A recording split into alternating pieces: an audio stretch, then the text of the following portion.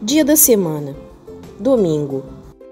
O Raul acabou de castigo por toda a confusão da casa mal assombrada ontem. Ele está proibido de assistir a TV por uma semana e de me convidar para ir à sua casa durante todo esse tempo. Essa última parte não é nada justa, porque isso é me punir. E eu nem fiz nada de errado. Agora, onde é que eu vou jogar videogame? De todo jeito, me senti meio mal pelo Howley então, esta noite tentei compensar as coisas para ele. Liguei a TV num dos seus programas favoritos e fiz um lance a lance pelo telefone, para ele poder apreciar a experiência desse jeito. Uau! Olha o tamanho desse lança-chamas! Ah, é. Deixa pra lá. Tentei ao máximo contar tudo o que estava acontecendo na tela, mas para falar a verdade, não sei se o Raul estava sentindo todo o efeito. Aposto que essa parte vai ser engraçada. Opa! Ahá! Estava certo! Foi engraçada. Dia da semana. Terça-feira. Bom, o castigo do Howley finalmente acabou e bem a tempo para o Dia das Bruxas. Fui até a casa dele para ver a sua fantasia e tenho que admitir, fiquei com uma certa inveja. A mãe do Howley deu para ele uma fantasia de cavaleiro, que é bem mais legal que a do ano passado. A roupa de cavaleiro dele vinha com um capacete, um escudo, uma espada de verdade e tudo. Uau!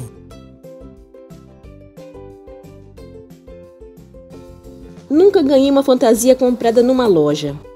Ainda não sei o que vou vestir amanhã à noite, então provavelmente vou inventar alguma coisa na última hora. Acho que talvez eu traga de volta a múmia de papel higiênico. Mas talvez não seja a escolha mais inteligente, porque acho que vai chover amanhã à noite.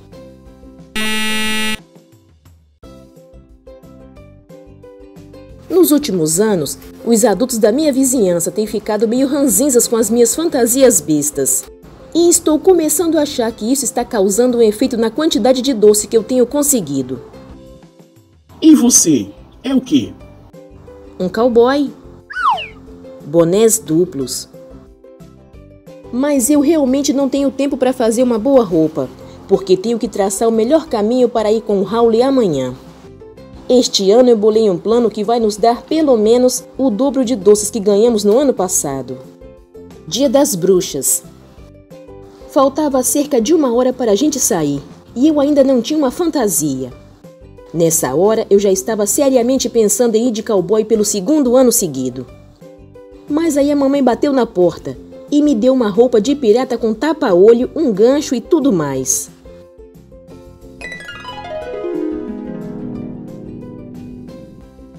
O Raul apareceu lá pelas 6h30 com a fantasia de cavaleiro, mas não parecia nada com o jeito que ela estava ontem. A mãe do Raul fez um monte de melhorias para a segurança e nem dava mais para saber o que ele deveria ser.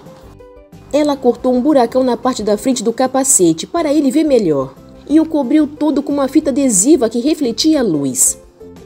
Ela também o fez usar o seu casaco de inverno debaixo da roupa e trocou a espada por um mini bastão brilhante.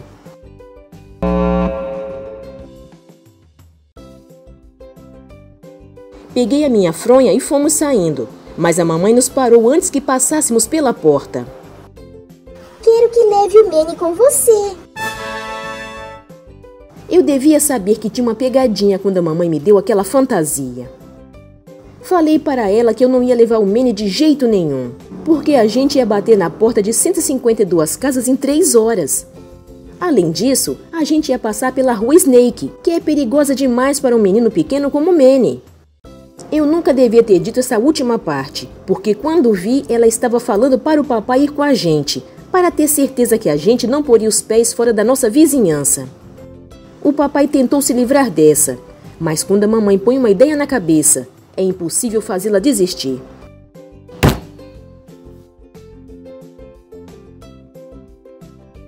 A gente nem tinha saído da frente de casa quando apareceu nosso vizinho, o Sr. Mitchell, e o filho Jeremy. Então, claro, eles foram com a gente. O Manny e o Jeremy não iam nas casas com decorações amedrontadoras, o que eliminou praticamente todas as do nosso quarteirão. O papai e o Sr. Mitchell começaram a conversar sobre futebol ou coisa do tipo, E toda vez que eles queriam argumentar alguma coisa, paravam de andar. O meu time ficou na terceira divisão. Ah, sim, fiquei sabendo. Assim a gente estava parando numa casa a cada 20 minutos. Depois de umas duas horas, o papai e o Sr. Mitchell levaram as crianças para casa. Fiquei feliz, porque isso queria dizer que eu e o Howley podíamos nos apressar.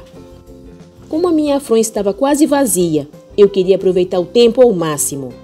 Um pouquinho depois, o Howley falou que precisava tirar água do joelho. Fiz ele se segurar por mais 45 minutos, mas quando a gente chegou na casa da minha avó, ficou claro que se eu não deixasse o Howley ir ao banheiro, a coisa iria ficar feia. Então eu falei para ele que se não estivesse de volta em um minuto, eu iria começar a comer os doces dele.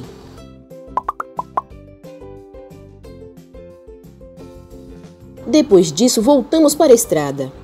Mas já eram 10h30 e acho que é nessa hora que a maioria dos adultos decide que o Dia das Bruxas acabou.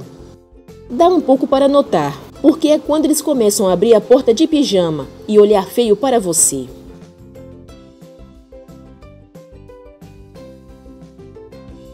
Resolvemos voltar para casa. Recuperamos bem o tempo depois que o papai e o Manny foram embora, e eu estava bem satisfeito com a quantidade de doce que tínhamos conseguido. Quando a gente estava na metade do caminho, uma picape veio acelerando rua abaixo com um punhado de adolescentes dentro dela. O garoto que estava na traseira tinha um extintor de incêndio e, quando a picape passou, ele abriu o fogo.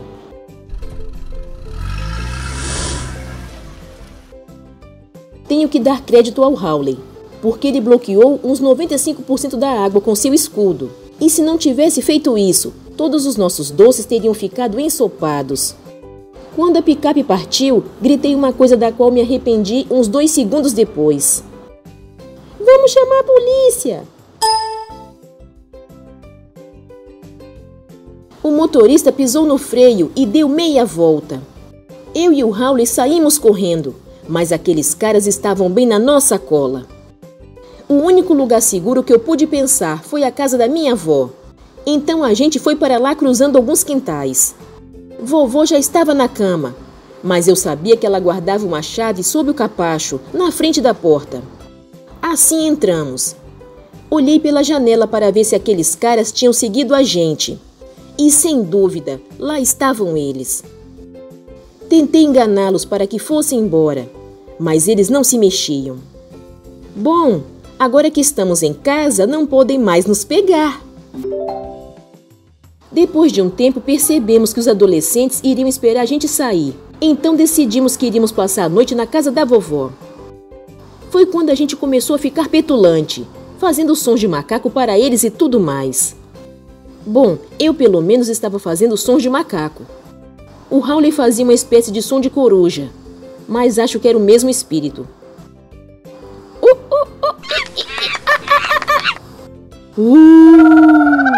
Uh, Liguei para a mamãe para avisar que a gente ia dormir na vovó, mas ela pareceu bem brava no telefone. Ela disse que eu tinha aula amanhã e que tínhamos que voltar para casa na mesma hora. Isso significava que a gente ia ter que correr. Olhei pela janela e dessa vez não vi a picape.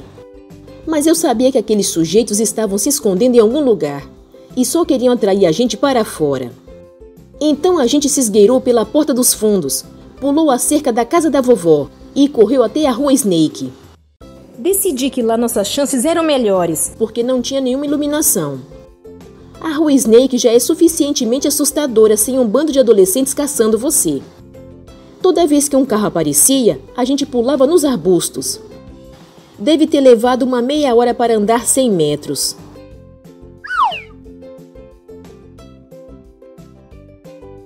Mas acredite se quiser, a gente chegou em casa sem ser pego. Nenhum de nós baixou a guarda até que chegássemos na frente de casa. Ah! Mas aí ouvimos um grito terrível e vimos uma onda gigante vindo na nossa direção.